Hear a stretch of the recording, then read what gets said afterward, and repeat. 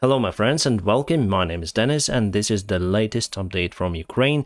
Let's start from the news about the drones that Russia wants to get from Iran. Even though Iran officials say that they will not give drones to Russia, still we have some leaked information to media saying that Russians already visited special factory where the drones are assembled and Iran is getting ready to send more than 100 of those drones to Russia. I wonder if Iran would send them those Bayraktar looking drones. Uh, for now, I don't think so. The billboard in Russia, Wagner Group, a private military campaign advertisement, so you may dial this number. If you are 24 plus, you may go and die in Ukraine, but you can carry uh, this guy in the middle. I think he carries uh, the washing machine or something like that. According to Russian law, the private military campaigns are forbidden, but still we have Wagner's and many more.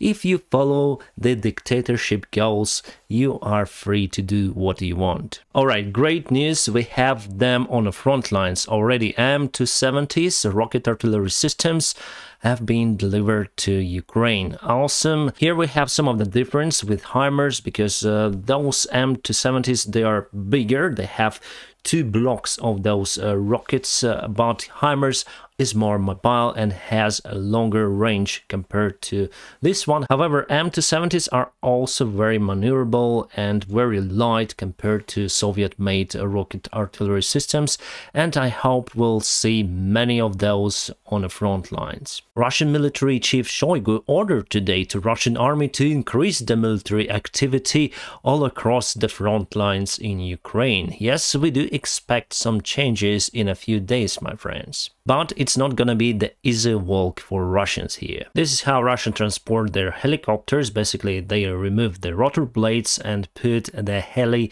down behind the track and this photo was taken near to Kherson. New video was released by Russian side showing old events. However, this video was filmed in February and those are Russians getting ready to attack Ukraine. Uh, they were based in Belarus near to Mozyr on the south part of Belarus, Airport. They were delivered to Kiev region uh, by helicopters and those tracks and most of those soldiers already found their rest in Ukrainian soil. So here in the video, everything is cool. They're showing how they're flying. Everything is so calm for them. This guy is smiling, but we know what happened to them. Most of them successfully got Gostomel airport during the first day. However, the second day they were just devastated by Ukrainian special forces. After a while, Kadyrovs came to the place and also were devastated. Finally, Russians were forced to leave Kiev area for good. Today it was a success for American diplomacy. Biden went to Saudi Arabia and they agreed with Saudis to increase the oil production for many millions of barrels. Basically here America is doing the same stuff with Russia as they've done with Soviet Union. Reduction of the oil prices is the big hit for Russian economy and for us it's more profitable I think because the fuel price should go down a little. Especially it is good for aviation business, the jet fuel price goes down and we can travel more. It happened I think in 80s or 70s of the last century where we had the same similar stuff of negotiations. And here we have the Czech-made rocket artillery systems RM-70 Vampire already on the front lines fighting for Ukraine. And now let's go to the military map review. First of all, let's go to the north of Ukraine over here to Belarusian border, my friends. I was a little bit concerned about the Belarusian actions and also Russia sent many troops to Belarusian territory. However, Belarusian leader is not ready to attack Ukraine yet because what I saw saw in uh, those two couple of days that they are just changing uh, their forces near to Ukrainian border. They are not putting extra forces there. They are not ready to attack, my friends. Yes, they announced some sort of mobilization. However, they mostly uh, dismissed all of the personnel uh, who were mobilized before. So now they are doing some plays, maybe want to deflect our attention to the northern part of Ukraine. It is a threat, however, to Ukraine and we should keep keep that in mind. And let's go to the Kharkiv area where we have the confirmation, or it's better to say clarification of the front lines. Let's go to the timeline today.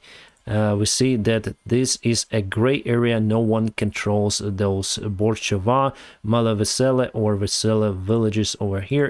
It is also a big lake over there. Other than this one, the situation there is very stable and Russia today, yes, as I told you, Shoigu announced the massive possible attack on Ukrainian territory from all directions. And that is why also we should expect that to happen on this kind of direction. But we have lots of our forces near to Kharkiv and we can withstand Russian attacks. There is no great risk for Kharkiv being uh, taken by Russians. However, the Kharkiv is under constant risk of being attacked by Russian artillery systems and rockets. Uh, let's move to Izum direction. While the situation there is standstill, Russia was able to get part of Bogorodichne. However, we were able to get it back uh, recently, my friends. It was some fighting and Russians were not uh, able to take this position. It's great stuff for us because, uh, yes, they lost many of the forces trying to reach Bogorodichne city or you may call it town. There were some of the fights near to Dmitrivka also and Russians were not able to get this village back under their control. Let's go to some of the shells and today there were not many and yeah, the situation on the front lines is more or less stable. Russia is not attempting to cross the Siversky Donets river to get to Slavyansk and also we have some of the clarification of front lines near to Bakhmut. Russia pushed a little bit today uh, near to Volodymyrovka.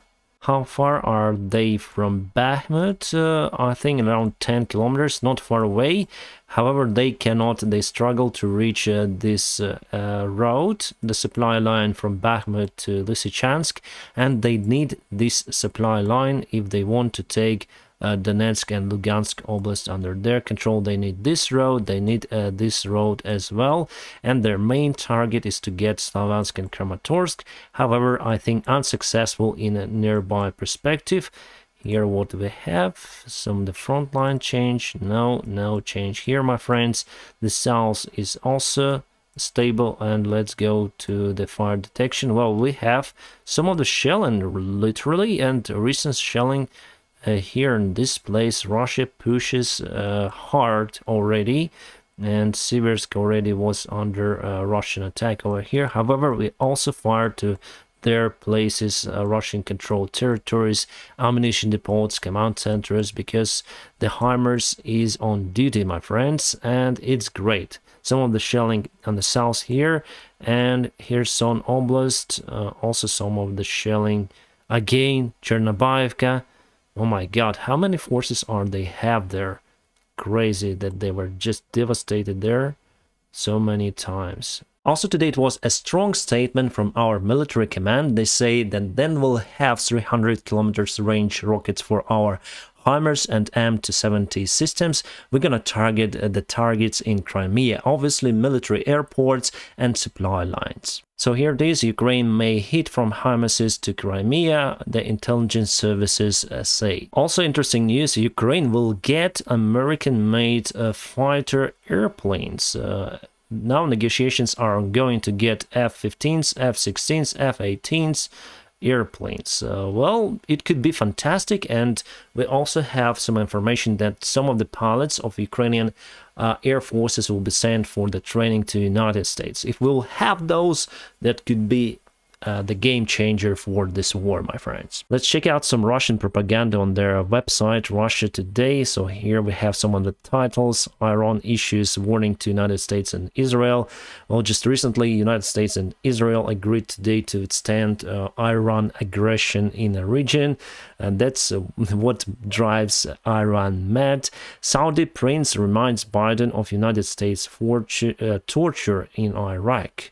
Um, well, here uh, they forget to say about the deal that it was uh, down today between the United States and Saudi, and they just put some of the words from the speech and saying that Saudi is against uh, United States. Uh, actually, Saudi and the United States they also allies, and now Saudi opened the even airspace for Israeli airplanes or coming from Israel as well. It's great. Italy's foreign minister points finger at Russia over government crisis. United States approve arm deals with Taiwan. Oh, that's great. Zelensky 2022, Stalin uh, 1942. The United States propaganda machine can easily make heroes, but it can quickly change the script. Uh, and here they have the article about possible Iranian drones delivered to Russia, and they say it is very unlikely that Iran will step up its uh, confrontation with the West just to supply UAVs to Russia, experts say. But now we have the tensions between Iran and Israel ongoing and uh, yes they have many drones probably gonna supply them to russia who knows? I would say in russia today they want to keep articles more neutral uh, i would say pro-western at the titles and then you start to read them. But after a while they have their own narratives about what is happening. For example russia explains deadly strike on ukrainian city. It happened in Vinnytsia and now they are saying how how it happened. We'll explain everything to you. Uh, we already know why it happened. They just destroying our uh, cities, our civilians. But here, no, no, no. We we will explain uh, to you the different idea.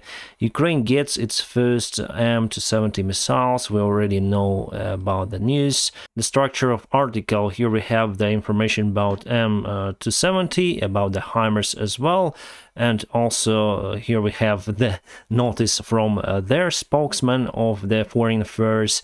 And after that uh, we have the Moscow has repeatedly warned West against pumping Ukraine with weapons. So basically, they put narratives from Russia into the article, and firstly, the news goes, and after that, they put narratives uh, what uh, the Western uh, countries are bad, they're pumping uh, Ukraine with the weapons.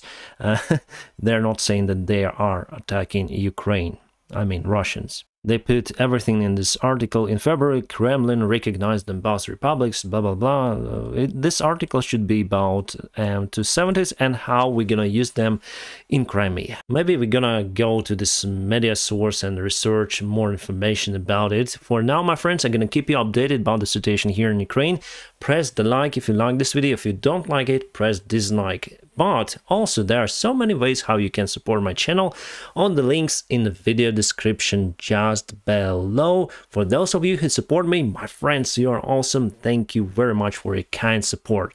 I wish you a peaceful sky wherever you are. Have a great time.